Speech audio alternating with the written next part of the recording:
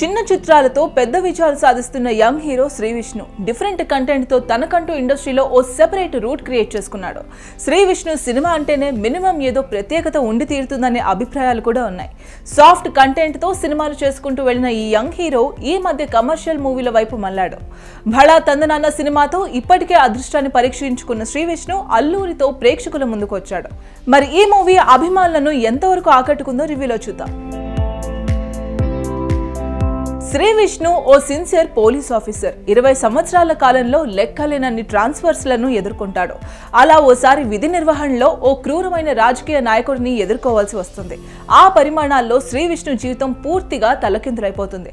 మరి వాటిని ఎదుర్కొనేందుకు ఏం చేశాడు? విలన్ ఆట ఎలా కట్టించాడనేది మిగిలిన కథ. ఇక పర్ఫార్మెన్స్ విషయానికి వస్తే పోలీస్ ఆఫీసర్గా శ్రీ విష్ణు చేయడం ఇదే తొలిసారి. ఇందుకోసం తన మేక్ ఓవర్ చాలా మార్చుకున్నాడు. అది స్క్రీన్ పై స్పష్టంగా కనిపిస్తుంది. శ్రీ విష్ణు క్యారెక్టర్లో అనేక వేరియేషన్స్ ఉన్నాయి. వాటన్నింటినీ బాగా చేశాడు. హీరోయిన్ లోహర్కు పర్ఫార్మెన్స్ చేయడానికి పెద్దగా స్కోప్ లేకుండా పోయింది.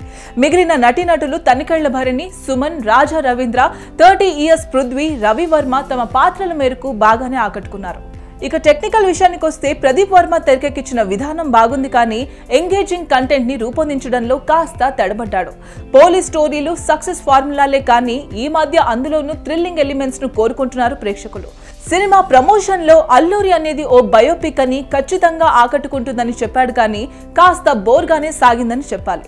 అర్జున్ రెడ్డి విజువల్స్ పర్వాలేదు. Harshavardhan music okay. Background score కూడా బానే ఉంది. ఇక ఫైనల్గా కొత్తదనం కోసం ట్రై చేసిన అల్లూరి శ్రీ విష్ణుకు మిక్స్డ్ రెస్పాన్స్ నే ఇస్తోంది. ఎలాంటి అంచనాలు లేకుండా సినిమాను ఓసారి చూసి ఎంజాయ్ చేయొచ్చు. ఈ మూవీకి టీవీ ఫార్టీ ఫైవ్ ఇస్తున్న రేటింగ్ టూ మరి మీకు ఎలా అనిపించిందో కమెంట్స్లో చెప్పండి.